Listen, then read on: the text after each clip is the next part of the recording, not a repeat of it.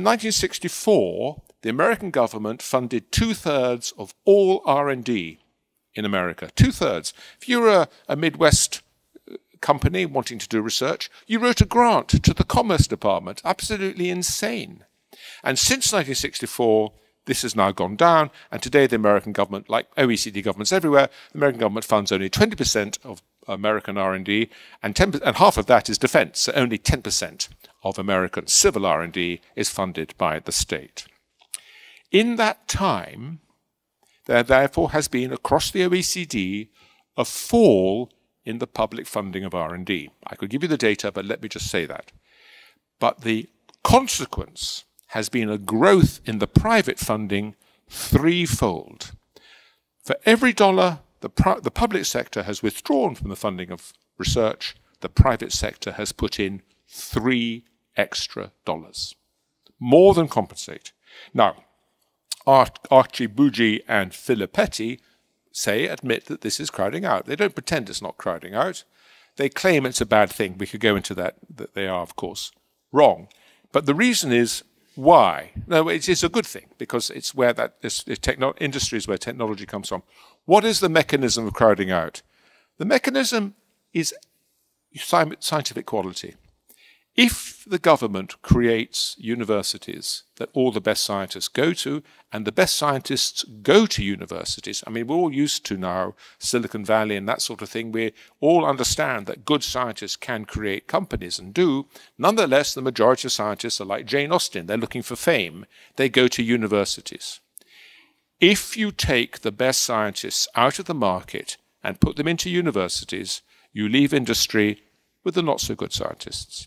And therefore, industry doesn't get a return on its investment. And therefore, it looks for other ways of making money, marketing or something. And so the government funding of research, which others, not me, I mean, I have also shown it, but the point is, others have shown creates crowding out. Three to one, it's a very serious crowding out takes the best scientists out of industry and therefore damages rates of economic growth. Now, we are told that governments have to fund science because the market disincentivizes companies from doing science. So the myth that we are told by the economists is if I do science, I will be disincentivized because my discovery, which costs me a lot of money to make, Tony will take for nothing in his company, and therefore for him the discovery is free. For me, it costs a lot of money. Therefore, he will outperform me. I will go bust and he'll make all the profit. That is the story the economists tell. And it is a story based on an utter myth. That assumes that knowledge is what's called explicit. But actually, knowledge is tacit. There's no way that I, say, making iPhones, am going to be competed with except by other companies making mobile phones. And they are uh, capable of copying my research only by the research they themselves have done over the previous 20, 30 years, which has given the expertise to copy my research, and vice versa. So the costs of copying you can show are actually 100% on average. The marginal costs are less than 100%, but the average or the total cost is 100%. It costs as much to copy on average as it does to innovate. So it's just a myth that the market doesn't reward science. Actually, the company that says that uh, it's not going to fund science because it's worried about its discoveries being copied by other people should be told, fine, don't do science and see how long it takes you before you go bankrupt. Not very long.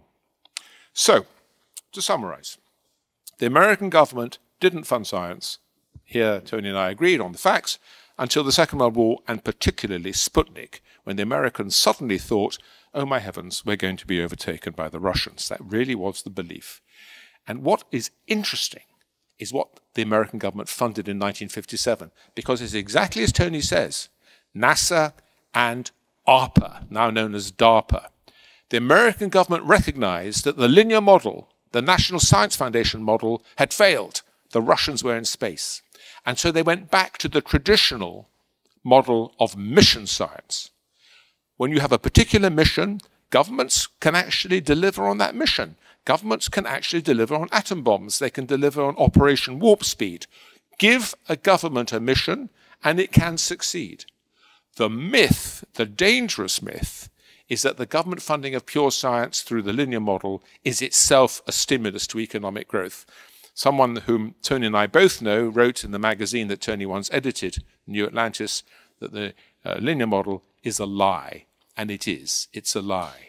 It's been promoted heavily by governments. It's promoted by because they want the glory.